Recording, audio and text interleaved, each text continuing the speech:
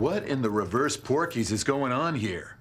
And I may just be a simple cop, but people need to know. This isn't gonna stop until Pictionary bans the word windmill.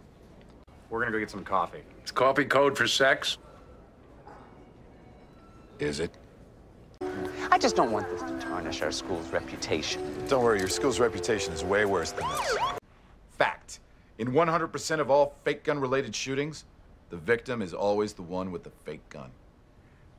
Sorry we couldn't get a car over here until now. Our captain was killed on duty last night. my God, I'm so sorry. Yeah, good man.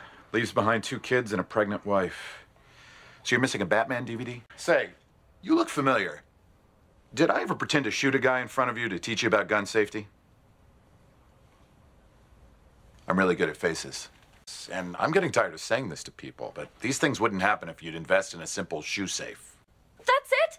Now we just live upstairs from this guy that's really into footwear? Sweetie, you're a renter. Look forward to owning a house. Be glad he's not into heads. Thanks for your help, officer. And if you should ever need me, I usually get out of school around four. This guy sleeps outside your room, though, and that's okay? Oh, yes, I'm very familiar with Inspector Spacetime.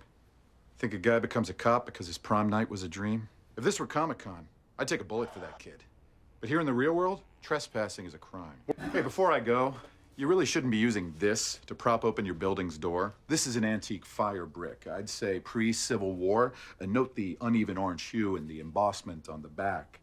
Quite a nifty little piece of Americana. You could get 50, 60 bucks for it from the right collector.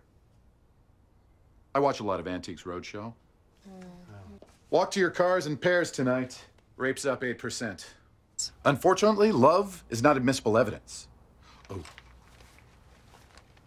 Love is not admissible evidence. I'm working on a cop opera.